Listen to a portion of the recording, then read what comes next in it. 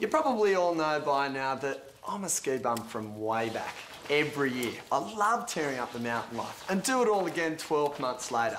But I've never been down here in the summertime up until now. I mean, what's there to do?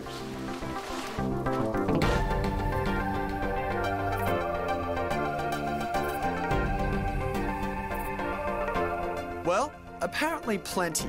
We're in the snowy mountains. Mount Kosciuszko National Park, to be precise, sitting right on top of Australia, about three hours from Canberra. In winter, this place is crawling with snowboarders, skiers, and some pretty serious party heads. But you know, winter's over now. The snow will melt soon.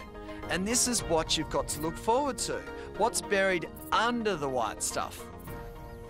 And we're off, checking out the Australian Alps, summer style, all the way to the top, 2,228 metres. But this isn't your average Aussie bushwalk. No way. This is five star, gourmet food, fine wine, and a comfy bed all ready and waiting for you at the end of the day. All I got to do is carry my day pack.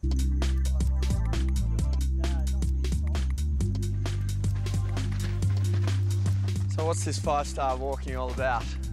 Tom, it's all about us taking the hassle out of it for you. We do all the packing, make sure everything's safe. We've got all, all of our four-season equipment, and we just let you enjoy all the good stuff. Doug Chutton's a dead set legend up this way. He's walked and skied everywhere up here for the last 13 years. They call me just a city boy, but the sky fully looks so much bigger out here. It's a pretty awesome place to work. Yeah. How's this one for you? In most of the world's alpine areas, there's an average of about 14 species of plants. Up here, you have about 220, which probably makes Kosciuszko the richest and most colourful summer ski field in the whole world.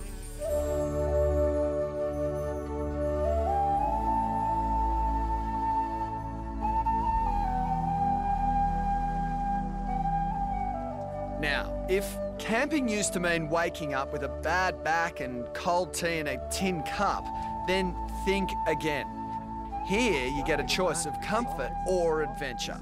Of course, I've gone for comfort, and that includes all the trimmings.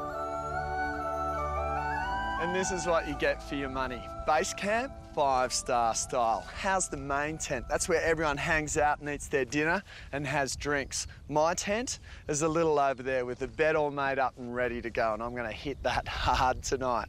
Stu the chef, well, he got here ages ago, so dinner is minutes away. It's really tough, this camping life. Cheers. And, you know, when nature calls, well, it's not exactly Royal Doulton, but with a view like this, who cares? They even go overboard for brekkie, pancakes and plunger coffee. Pretty much everything you need to climb to the top of Australia. Mm-hmm. These will get us up the hill. That's where we're heading. You are up going up there, Tom. First of all, we just got to negotiate the Snowy River crossing. Almost at the summit, not far to go. All right, let's push it up. Okay. Almost there.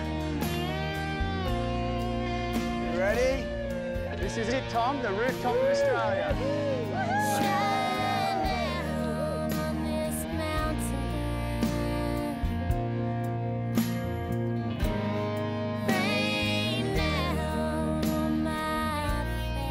Serious mountaineers know all about the seven summits of the world. We're talking Everest in Asia, Kilimanjaro in Africa, and our very own Australian version, Kosciuszko.